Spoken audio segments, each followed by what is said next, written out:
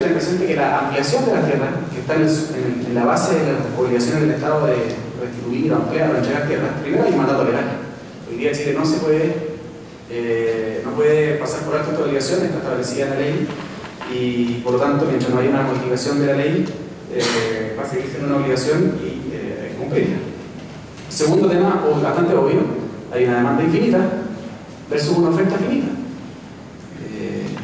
Y solo, por un momento no olvidemos que eh, el año 2008 se priorizaron 115 comunidades para compra de tierra, más una lista de 308 comunidades. De las 115 están terminando de entregarse las últimas comunidades eh, por, estos, por estos años, eh, deben quedar muy poquitas. De las 308 hay 169 que tienen aplicabilidad y esas son las que vienen ahora el siguiente paso. La pregunta que tiene que hacerse, y creo que tiene que hacerse el país, es por cuánto tiempo eh, y cuántos recursos queremos invertir en el futuro para cumplir eh, con la obligación de ampliación.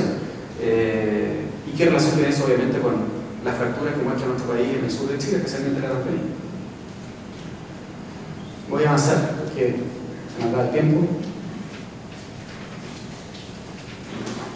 Quiero mencionar un último tema. Se, se ha hablado también de autodeterminación creo que es interesante mirar el tema de la autodeterminación desde el punto de vista de la tierra.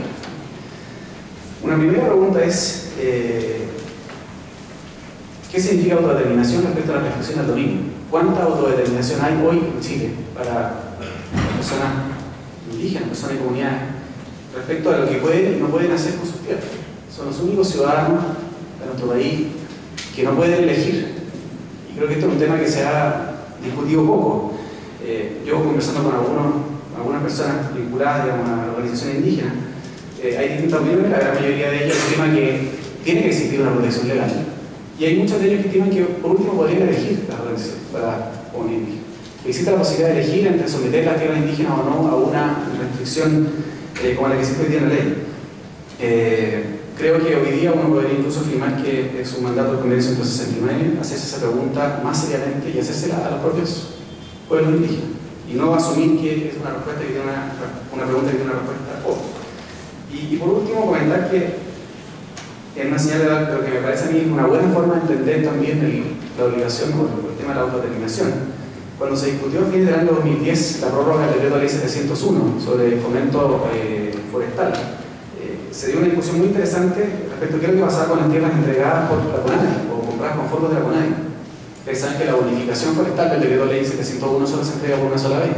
Cuando la CONADI entregaba un, compraba un campo a la comunidad indígena que ya había sido bonificado, eh, esa comunidad no podía ser bonificada nuevamente, pero además estaba obligada legalmente por, la, por las obligaciones que estaban establecidas en el decreto ley, por ejemplo, volver a plantar dentro de cierto plazo. Eh, en, el caso de no hacerlo, eh, existían multas, o existen multas, eh, y podían desafectar el terreno de las restricciones del, del DL 701, pero para eso tenían que reintegrar al Estado los beneficios recibidos.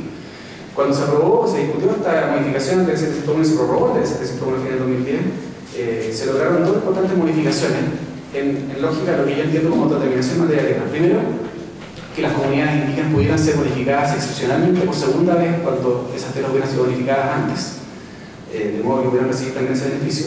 Y segundo, que las comunidades indígenas pudieran desafectar esas tierras del DL701 sin tener que reintegrar al Estado los fondos o, eh, beneficios que se habían recibido.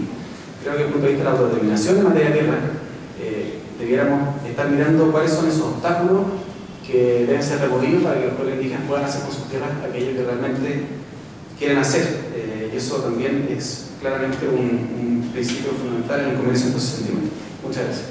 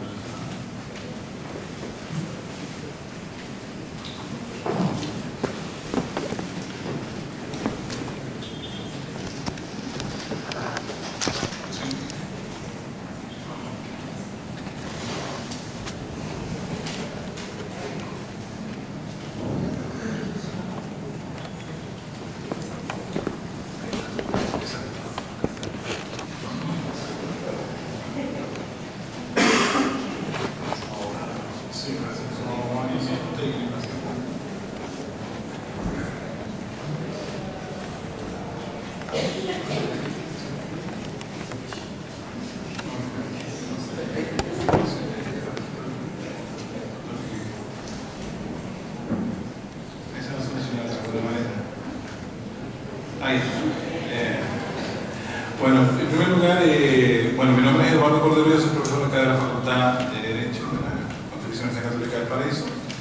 Y claro, siempre para agradecer en primer lugar la organización de este evento, siempre las jornadas académicas tienen esta, esta riqueza de poder eh, llegar a gente que le interesa un tema que hoy día tiene mucha relevancia y compartir con, con destacados expositores. La verdad es que para mí un poquito incómodo porque después de las presentaciones que se han hecho y las que se hicieron anteriormente, la verdad es que llegar a esta altura, tratar de aportar algo nuevo, no, no, pero vamos a tratar de hacer algo vinculado, quizás desde una perspectiva, eh, no quiero tampoco polemizar acá, no, no es mi área, entonces si no me sé manejar tampoco voy a estar ahí haciendo algún tipo de, de comentarios. Voy a comentar algunas situaciones que están vinculadas con la planificación urbana y pueblos indígenas, pero eh, ya quiero, quiero adelantar un poco lo que, lo que quiero plantear acá porque creo que poquito más general, que es un tema que, que se ha planteado en Chile en el último tiempo y que tiene que ver con temas que están vinculados con, la, con lo que se denominan las localizaciones.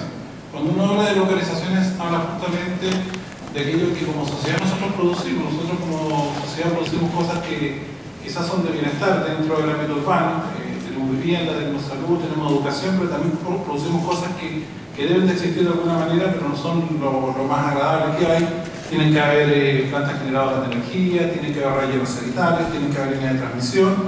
Y, y, ese tema de la localización que tenemos que aceptar de alguna manera plantea un conflicto bien interesante desde el punto de vista de la organización del espacio, eh, que debe ser enfrentado en general, pero que tiene cierta singularidad a propósito de la jurisprudencia en los últimos tres años de la, de la Corte Suprema, vinculada específicamente con comunidades indígenas. Entonces vamos a tratar de hacer una hipótesis acá de desarrollar cómo enfrentar un problema que, que tiene enormes consecuencias no solamente para las comunidades, sino que también para quienes desarrollan algún tipo eh, de proyecto. Y justamente yendo en esa, en esa línea, tratando de, de ubicarnos en nuestro, en nuestro país, ustedes van a ver una figura que está ahí. Eh, la, la, verdad que la hice yo, por eso se ve tan feo, pero solamente quería llamar la atención sobre una cosa. Cada una de esas circunferencias representan juicios que han existido, recursos de protección que se han presentado desde el año 2010 hasta la fecha, estamos hablando acá a la vuelta de la esquina. Yo tengo ahí por lo menos 14 en donde se han planteado temas de localización y conflictos con comunidades indígenas, donde se han desarrollado proyectos de distintas naturalezas, estamos hablando de plantas de, de transferencia, de residuos, eh, de residuos sólidos, estamos hablando de líneas de transmisión, estamos hablando de proyectos hidroeléctricos, de proyectos de desarrollo urbano, es decir, de proyectos inmobiliarios, en donde han existido distintos, distintos pronunciamientos y ustedes ya se darán cuenta, esto es para, no sé si hay inversionistas que no lo hay, eh, donde pueden invertir más tranquilo. Quizás la zona central ahí parece que no, no hay tanto problema. Pero tiene su razón de ser. Allá por el, a fines del siglo eh, XVII se decía justamente que uno de los grandes problemas que enfrentó la zona central en Chile fue la ausencia de mano de indio para poder trabajar en la, en la, en la tierra porque ya había un gran mestizaje.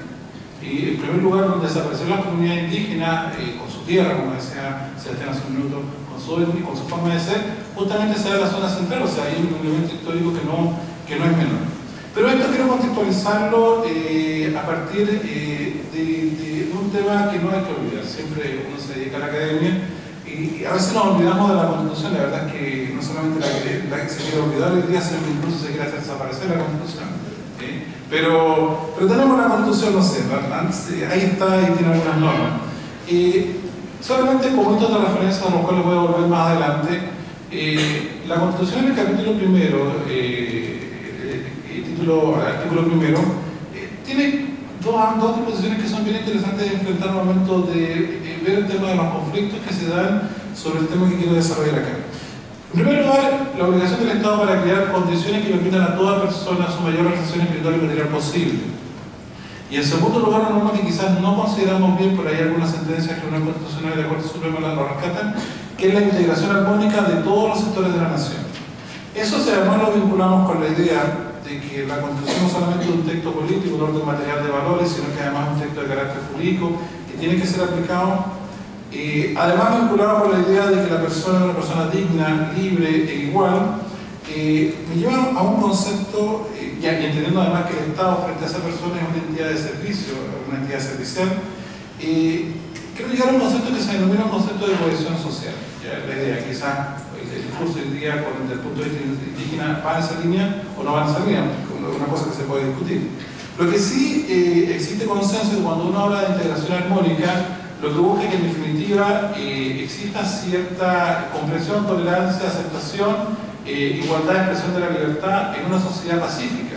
Claramente la fragmentación social de todo tipo, la fragmentación económica, educacional, de religión y étnica eh, o racial, necesariamente genera una sociedad en conflicto, genera divisiones y por lo tanto no existe armonía, los antiguos griegos, no existe armonía ni justicia en la polis y tampoco va a existir cohesión, cohesión social. De ahí rescato un concepto que, es el concepto del modelo social europeo, en donde justamente va la línea que acabo de señalar.